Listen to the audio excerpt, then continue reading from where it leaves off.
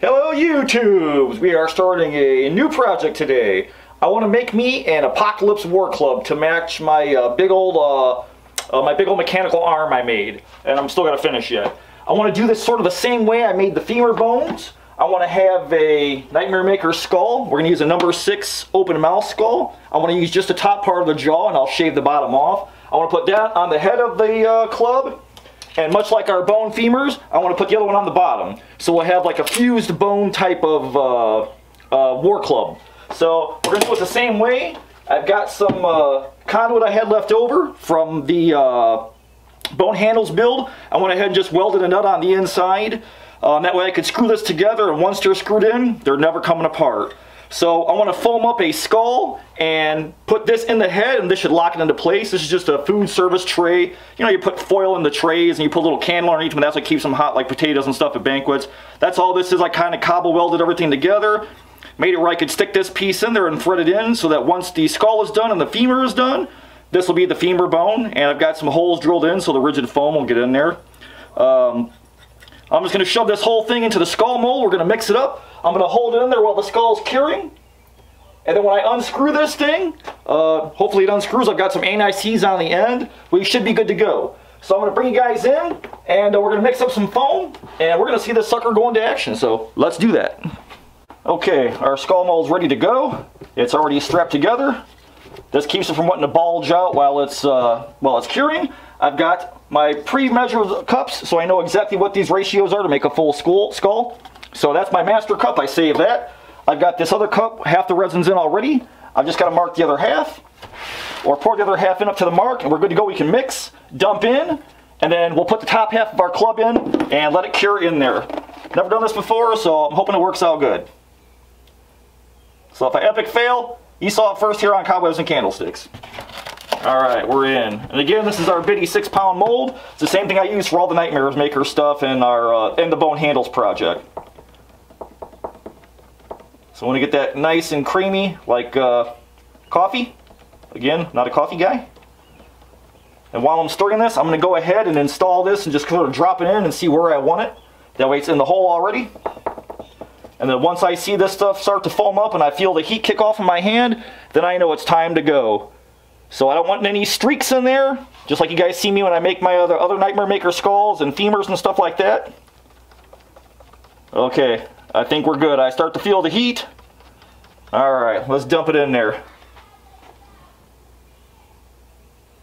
Alright, just like so. And if it goes past the thing, the arm, that's okay. Try and get it all in there because I'm going to shave back what we don't use. Alright, we're going to call that good. This guy's trash. Alright, I'm going to switch this around a little bit, let it bite into the face. I'd really like to keep it above that jaw line in there. Um, so the less shaving around I have to do, the better. I'm going to go ahead and switch this around to make a nice skin on the inside of that silicone. Again, it's a Nightmares Makers mold. I, I just love their stuff. They just make awesome, beautiful molds. So I'm going to hold this in there. Oh, it's already starting to foam up. You can see it's starting to raise already. So I'm going to hold this guy in place to make sure it's locked down. And I'd say right about there or so. And then uh, I'll come back and I'll show you guys when this thing starts to overflow and lock this thing down where we're at what it looks like. Okay YouTube, so it's been about 10 minutes or so. The foam's kind of stiff. It's still pretty warm. I'm to try and unscrew the pipe. Oh yes, okay, so the little anti-seize helped. I want to get this pipe out of there so we can pour up our femur. Like I said, when these guys were all shaved down, this uh, bone handle should fit right into the skull.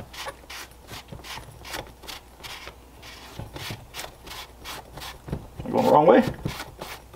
Okay. So if you look, there's my little path. All I got to do is shave down all the way there to get to the bolt, and I'm good to go. So we'll let this sit aside for a while, because you really want to let this sit for about eh, 20 minutes, half an hour or so. Let it get nice and cured first. I went ahead and got my femur ready. Now that we got our handle out, I'm to clean the handle off, get the excess anti-seize off. Okay, we're good. I also have a uh, femur cup done, so I know my ratios to pour a femur are these lines right here. So I'm already ready to go on the mark. One, two, three. So we're going to go right up to here on the cup. So I want to set this guy down in there. I know this is going to be my end. I want that big part of the femur on the end. I'm to drop this pipe in there. Even the pipe's kind of warm from curing in the foam, so that's pretty wild. But again, this stuff is just awesome stuff. I'm going to slide it all the way up to the top. See if I can't get a little little hole access right there. I just don't want to sit in there right. It's okay. Alright. Let's do this. Okay. I just want to make sure I can hold that pipe down so it doesn't push it to the top of the uh, to the top of the mold. Let's go ahead and top off our our bitty foam. We're going to go ahead and mix it.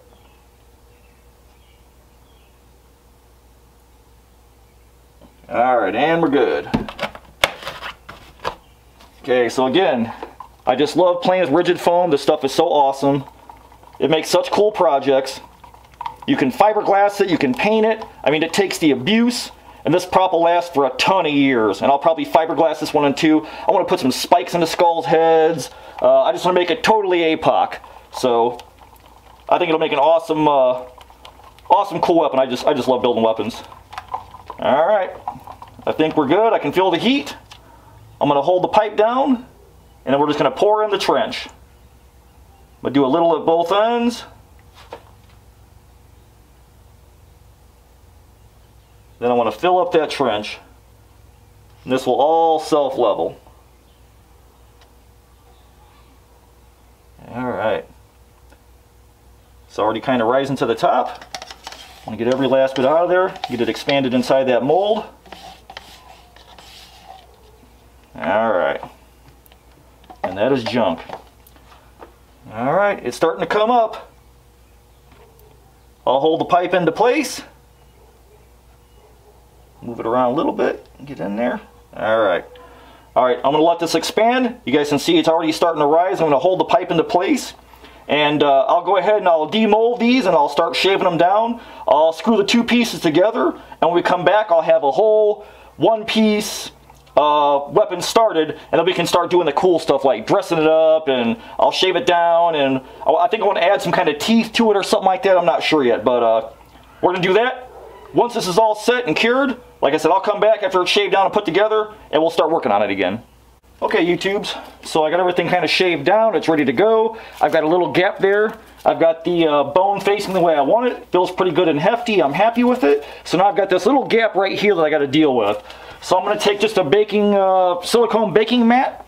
I'm going to wrap it around the neck and use some little, uh, I don't know, these are office clamps or something like that, whatever they are. I'm going to stretch this around the neck. I'm going to see if I can't make a little reservoir to go ahead and pour in some more and fill that little gap in there. So that's my plan. That's what I'm going to do next. And then basically start ready to shave this thing down, get it all dialed in, uh, put some fiberglass on it maybe, start putting some spikes in the head. I don't know what we're to do yet, but uh, we'll figure it out. But so far I'm pretty happy with it. I'm to go ahead and fill this little area in with the same rigid foam. I'll just pour up a little bit and make a little dam for it. And uh, the head will basically be done. All our foam work will be done. It'll be down to shaving and on to the cool details. Okay, YouTube, so it's been a couple of days. I went ahead and worked on the skull. I got everything shaved down like I wanted it to. Now it all looks like it's one piece, kind of all fused together. I'm pretty happy with it. I went ahead and drilled a hole through the handle. I'll put a ring in there somehow. Um, I got ahead, or I went ahead and I primed the whole thing after I shaved it down with just Zinsser primer. This is just white primer you use for uh, construction and stuff. Makes a nice hard kind of uh, encasing over the foam. And then I went ahead and just hit everything with a satin ivory 2X. Um, this way, I didn't want a really white, bright white tone. That's the apocalypse, I want everything filthy and grimy. So we're basically to the point we can start decking this guy out right now. So my first plan is, I want to throw some spikes on this guy in uh, random patterns. So I've got a bunch of bunch of spikes I had that were just different pour-ups. Um, left over from when I had made my mold. So anytime I had leftover stuff, I just poured them into here. So I've got a whole bunch of spikes. Uh, my plan is to take a quarter inch dowel and put a dowel in the center and then poke it in the skull where I want it and then I'll glue it down. Uh, I'll bring in and I'll show you the process. It's going to be a super easy, super fast way to do this thing. Okay, so I got this bronze spike here. It's pretty cool. It's missing a little bit of the tip, whatever. Uh, I went ahead and I just took a piece of uh, quarter inch dowel I got off Amazon. I think you get like 50 for, I don't know, like uh, X amount of dollars. They're pretty cheap. I think they were like nine bucks. So I've got just a pencil sharpener here with the quarter inch dowel. I'm just gonna go ahead and shave off the ends a little bit. So I get that nice little uh, spike to help me stab into the rigid foam. And I'm gonna clean this other end just like this. So now I'm ready to go ahead and drill a hole. I'm gonna do a quarter inch hole since this is a quarter inch spike. I'm gonna insert this in and glue it in with some E6000. And then I'll drill some holes in the skull and I'll put them where I want them. But it's a super easy process. You see my little cordless drill here.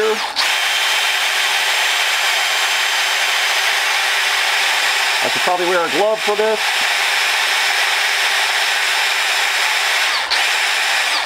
Okay, so we're done. We got our little hole right there. Got our quarter inch dowel already cut.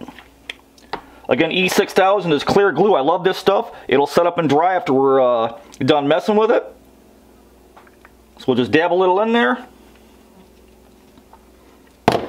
And we'll take our little dowel that we had cut earlier. I just like to kind of spin it into place.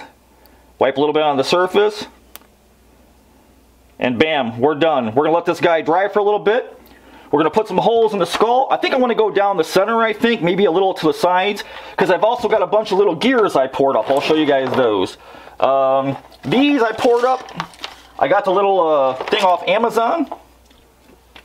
These are just little, uh, I think these were $10 for both these, or $8, something like this. These little silicone molds. And I just took a bunch of my, uh, the same Smooth On 3, uh, 325. I put some transparent uh, mica powder in there. Uh, 325, this is great stuff. I love this stuff. Uh, this is what I made all my monster magnets with. And I made up a whole bunch of gears. So I'm also thinking I might put a big massive hole in the side of his head and, and, and eat it out. And then put a bunch of gears sticking out sideways, whatever. Um, so that's my plan too. So I want to get spikes in. I want to cut some holes in the skull and put some random gears in for texture and for sticking out of the side so it looks nastier. And then I went ahead and I want to put a, a single eyeball in this guy, I think. Um, I think I'm going to do like a lime green. Again, this is just a quarter inch dowel with I think a one inch ball at the end of it. I'll go ahead and spray paint this. I'll cut it. It'll be real easy just like the other one.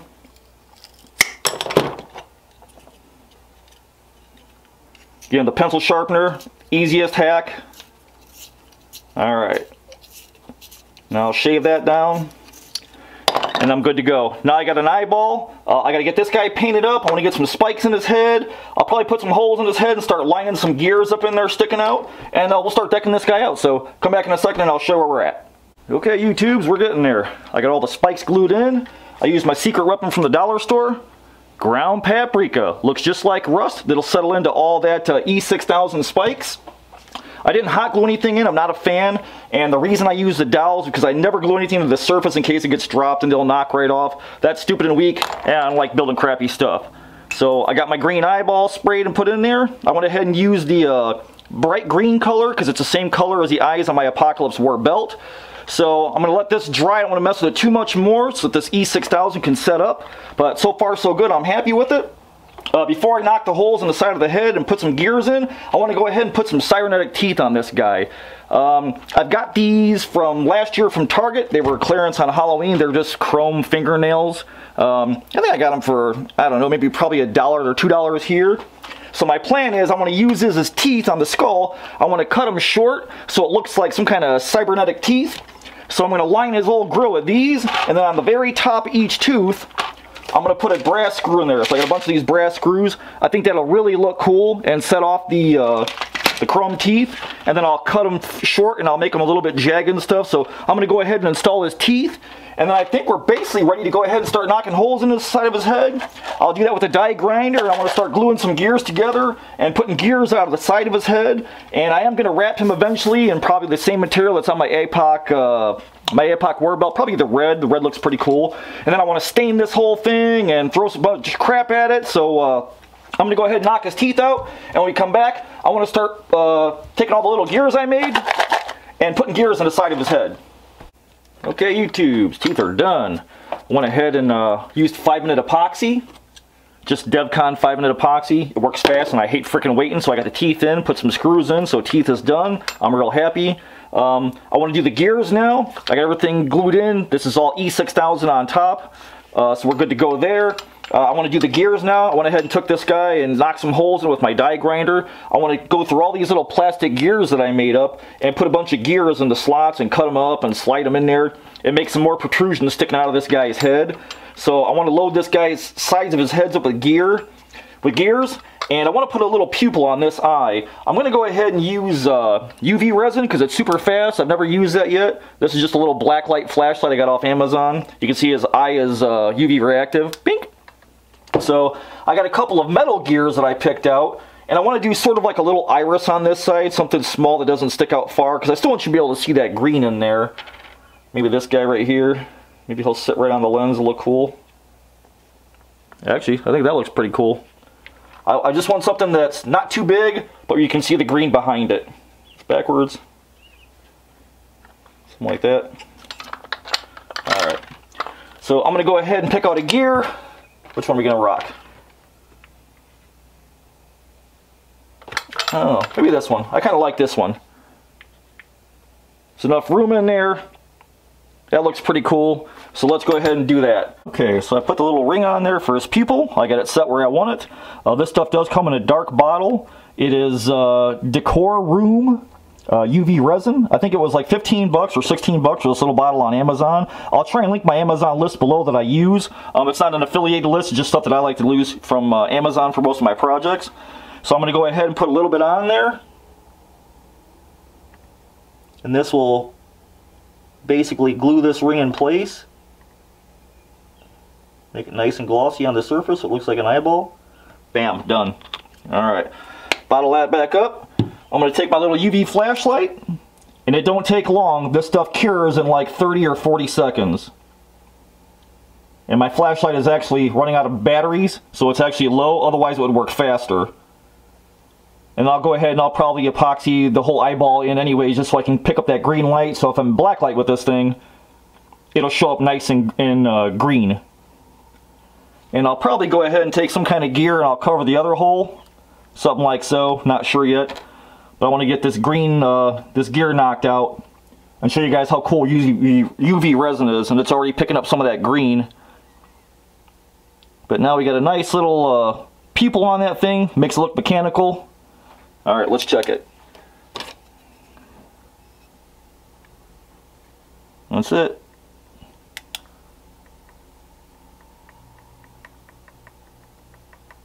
That's how fast that stuff is. It'd be faster but my light bulbs or my batteries are getting bad on my little light bulb.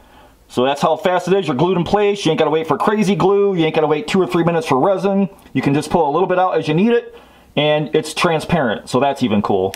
So I'm going to go ahead. I'm going to use some E6000. I'm going to get all these gears jammed into place. And then I want to stain this guy black and put a whole lot of oil looking nasty stank on them. Um, so I'm going to go ahead and do um, his gears now. I'm going to jam gears in there and glue them all up. And then when I come back, I want to stain this whole thing because I want to do a handle wrap on them too. Alright, what do you guys think so far? I've been kind of just dropping gears in there, smashing little holes in. I'm going ahead and I'm just going to UV resin them in just kind of hurry up and lock them into place. I just been going ahead and cutting these little gears in half with a hacksaw. They just slide right apart and just taking little bits and pieces and piecing them together. So that's what I want the other side look like. So I'm going to go ahead and finish all these gears up. When we come back, we're going to stain this whole bad boy down. I want to add some mounting tabs and some fake uh, bolt heads in the back with some uh, foam to look like metal strips. And uh, we'll just about ready to wrap this guy and finish him up, do little final touches, and we'll call him done. So I'll see you in a bit. Okay, YouTubes, our gears are done. I got them all uh, resin, UV resin in, put the light on them, stuck it outside for a little bit. I'm pretty happy with it. Added a little gear here. I threw a couple in the throats. Um, I'm pretty happy with where all the gears are, but he's really clean, so I want to put some nasty stank on him. So I've got some uh, black ebony Minwax. Uh, super cool stuff. I usually don't go this dark, but I figured for something that's uh, APOC, I want that oily, greasy, nasty, filthy stank look. So I just want to use uh, probably my old uh, shop towels or my old shop rags. I use these for wiping down the car before I paint it or in between coats of paint. There's already a bunch of grime and color on here, so I love taking stain off with these and keeping all the nastiness and the funk right back on my part. So let's just go ahead and bang this out. Dip in. Oh yeah. I want to coat this whole thing. Get down on them gears. Now that's looking cool. Alright. Nasty rag. Now you can see all those little pits and grimy nastiness and all them gears and you can see the details in them. I'm just going to go over everything. I think one coat will probably do it. Maybe I'll throw some other colors on there, maybe some rust too, I don't know. Hell, maybe I should just throw some paprika on top of there. Ooh, that's looking cool. That's already cool right there. Alright, get my nasty rags on there. Alright, I'm going to go through, I'm to stain everything, I'm to stain the ends, I'm gonna, not to stain the middle because I'm to wrap this thing with some duck cloth left over from my uh, APOC belt. So I'm to go ahead and knock this thing out and stain it, put the stank on it. We come back, this thing will be done, we'll be ready to wrap this thing. Okay, YouTubes, we're all stained. I'm pretty happy with it. I got everything blacked out with the black stain, the ebony. Wiped it down, I was happy with it. I went back and hit it with some uh, Rust-Oleum concrete stain. This is burnt brick.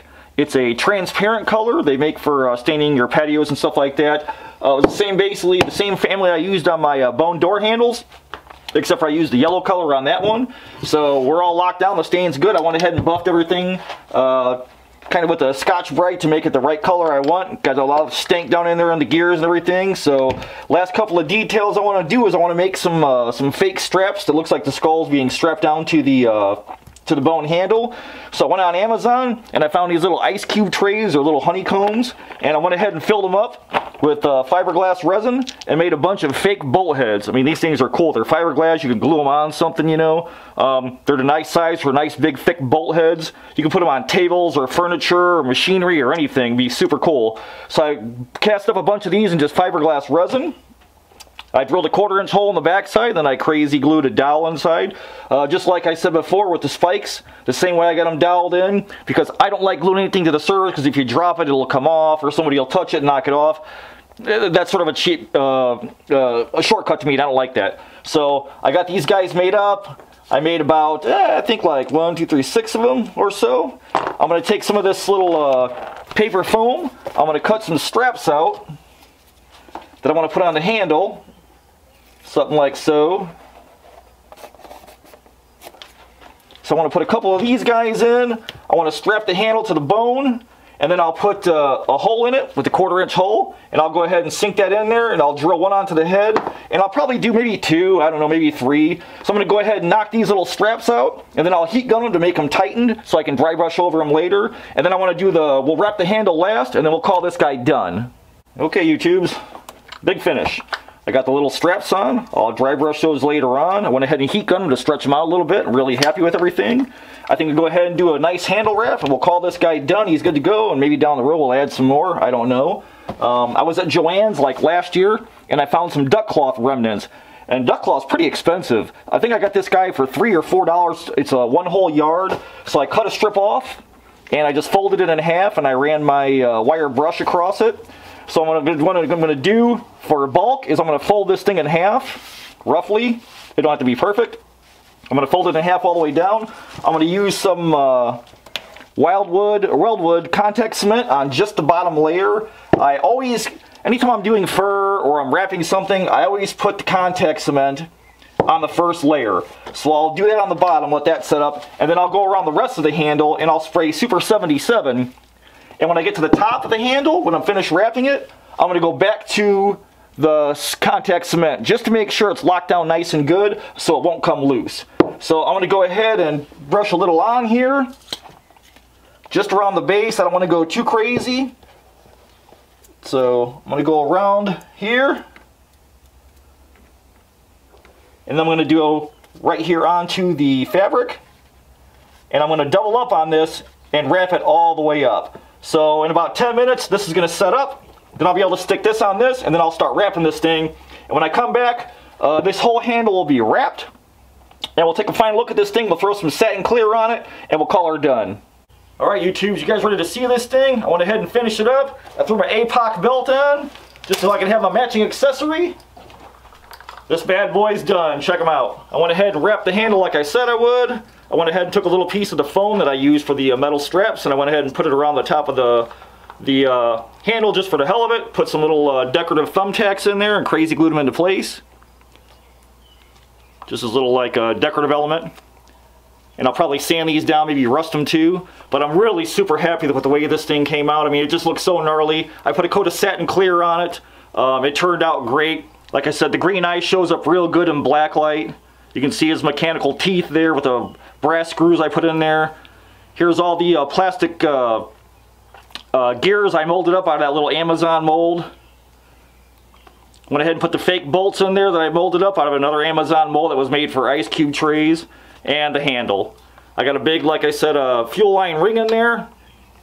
And I just kind of ground in all the uh, stains and stuff like that. I gave the uh, the red duck cloth a quick sand, but that's how it turned out. Um, I'm super thrilled with it. It looks great with my APOC belt. One day I'll get to finish this whole costume. I got my mechanical arm. I still got to paint yet. But man, I'm super happy with this thing. Um, if you guys like it, hey, leave me a comment. If you get a chance, go see my brother in the trio, the trio of Terror of Vic Springsteen on his channel or David the Weird Kid Show channel. We're going to be building non-stop until Halloween. We got a lot of projects in the uh, pipe coming. So if you guys enjoy this kind of stuff, hey, stick around. We got a whole lot more coming. So this is my Apocalypse War Club. I hope you guys dig it. And I will see you in the next time, in the next one. And until I do, you guys always keep it evil. Thanks so much for watching.